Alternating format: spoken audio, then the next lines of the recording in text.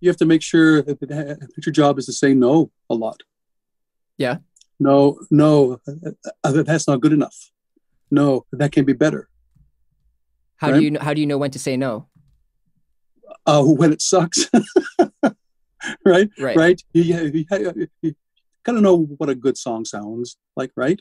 Right. If you have the if you, if you have the Beatles, the Bee Gees, uh, Barry White, Earth, Wind and Fire, Chicago. They're all amazing songs. Yeah. Steely Dan. You know what a good song sounds like. If you Fair. also know what a, a, a bad bad song sounds sounds like, right? So as a producer, you have to either draw the line and say, okay, the artist can come in. I'm going to work with the song even if I don't like it and push you out, or say I don't like this song. I'm not vibing with it. I'm not going to take your money because of this and this and this. We can change if you're I've done it numerous to. times. Yeah, yeah, yeah. I've done it numerous times to where somebody comes to me with some stuff and I go, guys, this is great, but uh, I can't take your money.